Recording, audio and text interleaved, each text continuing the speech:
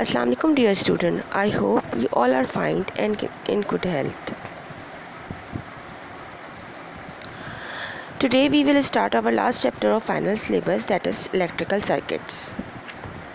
In this presentation I will give you explanation from book page number 50 to 53 and after the explanation I will give you the written work which you have to do in your journals. Let us start the topic.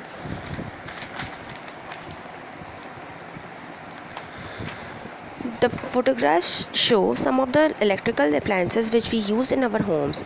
Each one converts electrical energy from one form to another. They are electric energy changes. Torches convert electrical energy into light. Heaters convert electric electrical energy into heat. Electric toothbrush convert electrical energy into kinetic energy. Uh, doorbell converts electrical energy into sound and light bulbs converts electrical energy into heat what are conductors and insulators. Electrical conductors allow electricity to pass through them. Electrical insulators do not allow electricity to pass through them. Good conductors such as copper are used when good electrical flow is needed. For example an electrical wiring. Good insulators are used when electrical flow is not wanted for example surrounding electrical wires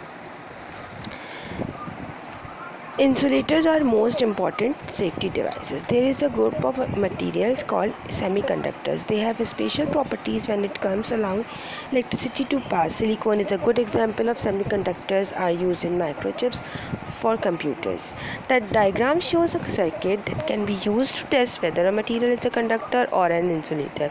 Electricity is provided by a cell, battery and a switch controls the circuit electrical components. Electrical components are part of our uh, electrical circuits are part of our everyday life.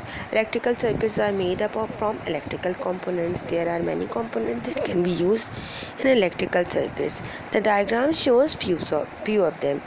Then this includes wire cell or battery bulb motor ammeter buzzer etc now you have to do short question answer which i have given in in you uh, in this presentation. You have to do this question answer journals.